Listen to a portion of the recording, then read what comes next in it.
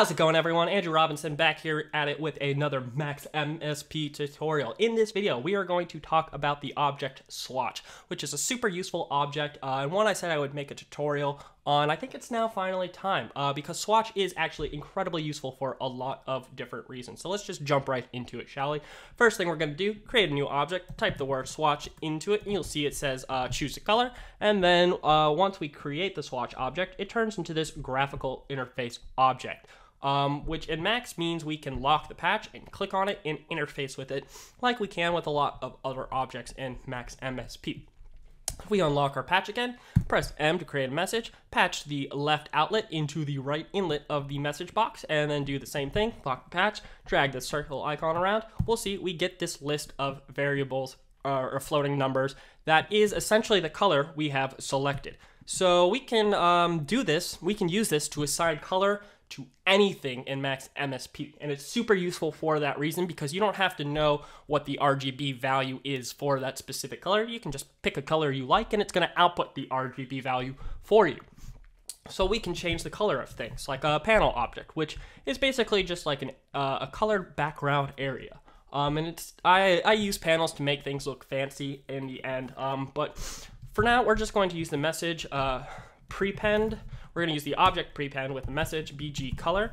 And if we pitch that into our panel and our swatch into that, it's going to send the message BG color to this panel with whatever color we select, which means we can just click and select and drag and change the color of this panel in this way, which is super useful. You know, you're trying to create dynamic color changes. That's a really great way to do that. Um, and by default, swatch just outputs floating numbers, which is probably what you're going to use for color more than anything else. But, uh, you know, in case you need whole number integer values, you can uh, go into the attribute setting of the swatch, which I just created this attrui object. You press A on the keyboard to do that, um, or you can create a new object called adder UI. That's the name for it. it. Does the same thing. Then once you patch that into your swatch object, you can lock the patch, click where it says nothing, and we can go and scroll down to something like output old style 0 to 255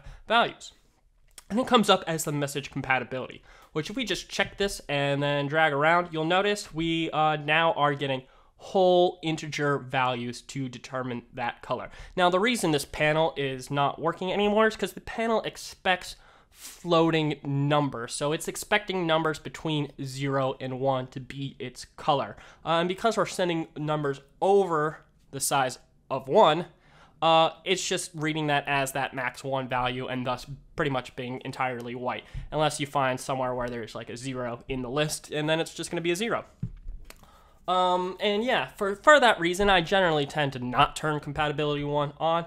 Because, uh, like I just said, you know, most of the stuff you're going to assign to be a new color in Max is going to look for those floating number value versions, um, which is cool. Uh, if you ever run into a situation where you kind of have whole integer numbers, but you need those uh, floating point numbers for whatever reason, you can actually use scale the scale object on a list. Uh, and so if we say scale from 0 to 255, which is the range of color values we get when we're using the whole integers, and we want to scale it down to be between 0 and 1, we can do that. And then all we got to do is patch this in between the swatch and our prepend object. And then this list of values that is now between 0 and 255, because the compatibility for this one is turned on, is being scaled down to this uh, same value of uh, floating numbers. And if we just, you know, attach a message box into that and do the same thing, lock and drag, we can see, yeah, it's working. This We're getting the scale floating numbers, the correct color, uh, that's the integer, that's the floating number value. Whichever, I, again, I'm just repeating, but whichever makes the most sense for you in your specific instance of your max patch, just go with that version. Um, yeah, yeah, yeah. So that's cool. That's cool. But uh, assigning colors to swatch, uh, you don't have to click and drag. We have these inlets at the top. You see the left inlet says RGB list. Uh, the second is green and blue is the last. So you can think of each of these inlets as, you know, your individual RGB color value. We're going to create another swatch here. And we're just going to create some uh, floating number boxes, patch that in, in, in, and in, just like that. So now as we uh, increase this, we're increasing the value in our red channel. So this is the blue channel, and this is the green, or sorry, this is the blue channel, middle is the green channel. Um, and so you can also get specific colors that you want in this way. It's totally up to you um, in your specific situation if you need to do it this way versus like you know this way. Um, but both options are available. And also as like this uh, floating number and each individual inlet uh, that's not the only setup that swatch allows you to do. You can uh, have this and it could you could format everything to actually just be a list so if we create a pack object and say uh, FFF. Actually, I'm going to do the other pack object, the one without the C, P-A-K. So all of these are hot inlets, and changing any one of these values is going to change the entire list and have it output its uh, its list to the swatch. And so it's the same thing. We can send everything in as a list or into each individual uh, inlet. It doesn't really matter. Again, whichever makes most sense for what you're trying to do in the moment. But these are all options that are available to us. Um, so real quick, I'm just gonna clean this stuff up, give us give ourselves some more room to work with in here. All right, and now that we've got some space, the main thing, the main thing that I think makes Swatch extra cool and extra useful, more than just what we've uh, shown in its basic setup, is that we can also use the HSL method of determining color. So what is HSL? We are familiar with RGB. That's pretty standard for computers. You know, you put a floating value in the red channel, the green channel, and the blue channel, and the combination gets you that mix. HSL is very similar, except you're not working in a red, green, and blue channel. HSL stands for hue, saturation, and luminance. So the first variable of the list will determine the hue, the second, the saturation, and the third, the luminance. And it's actually really cool. Um, if we create another swatch object down here, and we do the HSL message, which is just literally HSL, and we assign some variables. I'm just going to make the first one uh, a variable, so that's going to be our hue. We're going to set the saturation to the full value, which is 1, and we're going to set the luminance to half, which is 0.5. If we patch that into the swatch right here, and we patch a float floating message number box into this message. Now, when I change this value, we are changing this variable he here, which I said is hue, and you'll see as I am going up uh, closer to 1, we are going across uh, the middle of the swatch object, uh, which is really amazing. And it's still, when you do this, it's still going to output the list from the swatch as RGB, as everything else in Max MSP is looking for RGB uh, values to determine color, but it's really cool that we can send the hue, saturation, luminance message into the swatch object and get an RGB list out. And what makes this really useful, in my opinion, is if you look at this, we're only sending one floating number message to this message box to change the color. It only needs one floating value right now. I mean, we have predefined these, um, but if you know, if you want like full saturation and, and this like middle of the way luminance where it's like going to give you essentially the saturated color or like the brightest color version of that color, um, it's really useful because we only have to change this one number box rather than send three numbers like we have to do with the RGB message. So that can be really useful for a lot of different reasons.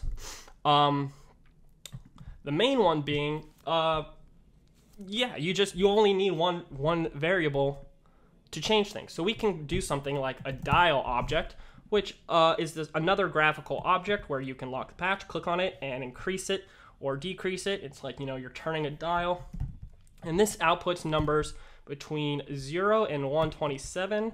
Um, so if we do the same thing where we patch in the message box, click and drag, we could see, yep, we're getting that output range between 0 and 127. So same thing, we can use a scale object uh, or just divide by 127, but we're gonna use scale, we're gonna say zero, 127, scale it down to zero and one, uh, patch that into that. The scale can go in this flow number box over here. And now as we change this dial, we are changing the color, which is really cool. And we can now patch this maybe back into this dial and change the color of the dial. I think it's outline color. No, it's not outline color. Uh, I needle color. Indicator color. Yeah, indicator color changes to uh, needle color, but then we can just take this list from our swatch, patch that into this attrui, and now as we change this dial, we are going to change the color of the of the dial as we change the dial, which is pretty cool. We've just made this sweet uh, rainbow dial, which again, if you're like, you know, into creating really fancy looking uh, interfaces uh, that are fancy, this is a really neat trick to do something. I love this rainbow dial. Um, but again, you know, like I said, we can change the color of anything in Max MSP uh, with this swatch object as long as we, you know, use the right uh, messages and objects. There's this object called BG color, which literally lets you set the background color of the entire max patch. So let's just take our number, our list from our swatch, patch that in there, and turn the dial, and now we are changing the background color of the entire max patch, which is pretty cool. Um, and you can, again, you know, create really crazy, fancy user interfaces this way. Um, there's there's a lot of possibilities uh, that become open to you uh, with this because it's just so easy and uh, fast to change the color uh, in a very dynamic way. Super useful. Um, and that's pretty much it. Like, really, that's the secret of Swatch. It's so useful because you can uh, manually select a color, but you can also you can also change the input from RGB to HSL, which is also super useful. In case you're wondering, also, uh, just what the other messages of the HSL do. I'm just going to copy this over, change all of these to variables real fast. Dollar sign two, dollar sign three, so we get a list. And get rid of that. We're to copy this pack from up here and copy and paste it down there, and bam. So again, um, we know Saturation is, uh, if we set saturation to 1, it's to give us our brightest color. Our luminance you can think of as like the Y value on this swatch. The higher this number is, the closer to white we're to be.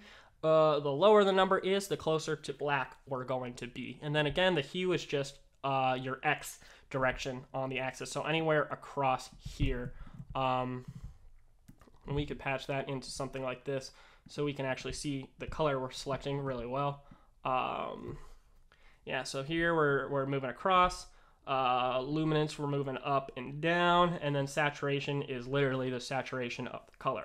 So you can make it more or less saturated um, until you find the exact right color you want. And then again, you know, it's outputting an RGB list. So if we patch this in the message box, even though we've sent this uh, as the HSL message, we are getting an RGB out. So this is this message box is the RGB color for this color, which is super useful. And again, as I as I said, any anything you want to change the color of in Max MSP, swatch is a great way to just get very specific colors and mess around with that. So um, that's kind of it. I hope you found this tutorial useful. I hope uh, that showing you uh, the secrets of the swatch uh, open your eyes to some of the possibilities that can be done. Again, like the main thing for me that I find to be extremely useful about swatch is this HSL method and where if you have like you know the saturation and the luminance predefined to what you want um, you only need to send one variable value to get a whole range of colors, which is so much more convenient than doing things with RGB. Um, and I think HSL just intuitively also makes a lot more sense because uh, we're used to thinking about colors in terms of like saturation and luminance and not so much about like what the value of the green channel is or the blue channel is. Um, so that's so that's like super useful for that reason. Um, And yeah, if there are any questions uh, lingering on anything that I talked about, please feel free to leave that in the comments down below. Uh, if you found this video to be useful, uh, please remember to like and subscribe because that's how I know you found it useful. Um, and on that note, I will see you guys in the next tutorial.